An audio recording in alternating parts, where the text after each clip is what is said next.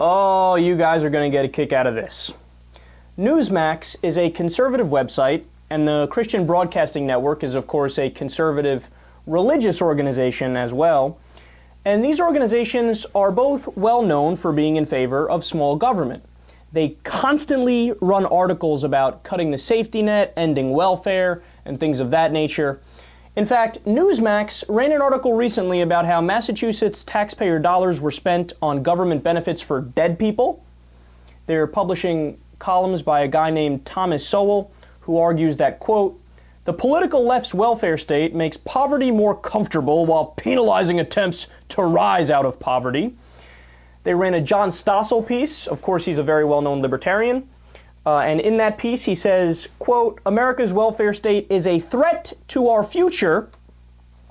Uh, then on the CBN side, they have a correspondent by the name of Dale Hurd, who wrote a story in January warning that if, quote, Americans want a glimpse into their possible economic future, they should look to France, where there's high unemployment, low growth, more taxes, and people on welfare. So if there is anything you can count on, it's that these two organizations hate big government spending. They hate mooching, right?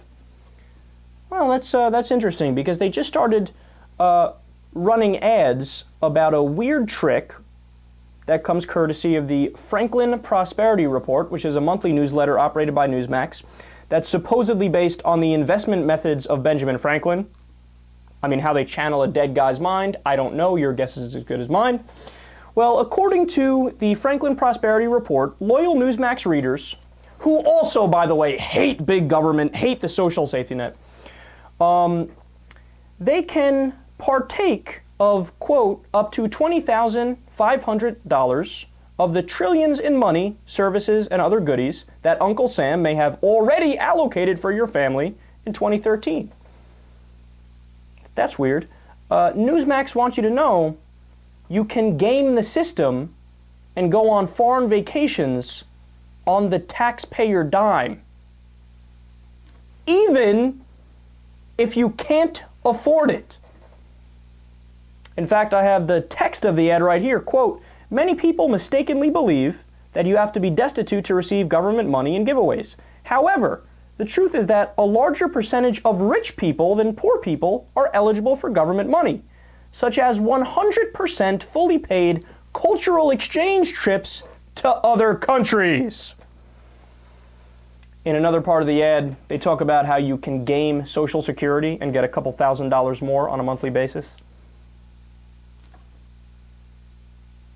That's amazing. So wait a second. This is the same the same groups that lament government freebies, and then they run ads saying, "Okay, uh, here's how you can get your government freebies." Uh, can we invent a new word that's like worse than hypocrisy? It's like super de duper de duper hypocrisy. I mean, but look, it all goes back. We talked about this so many times.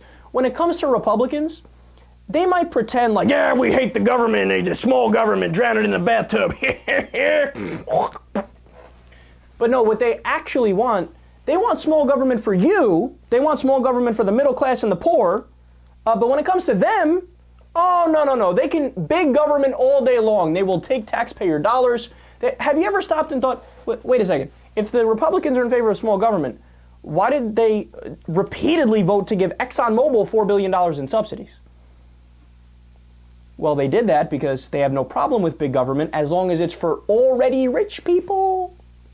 Already rich people, corporations, them and their readers. These are the same people that judge you all day if you happen to be unemployed and need a little bit of money to survive, right? And by the way, if you're on unemployment, there's only a thousand benchmarks you have to reach reach before you can get it. You can't just nonchalantly get it and sit on the couch all day, right? You have to continually look for work, so on and so forth, and it runs out after a certain amount of time. But no, they'll judge you if you do that. But for them, they're telling their readers, here's how you game Social Security. Here, get a couple thousand dollars more. Go on a free vacation. Big government all day long. Here, me, me, me, me, me. Mooch, mooch, mooch. Parasite, parasite. That's me, that's me.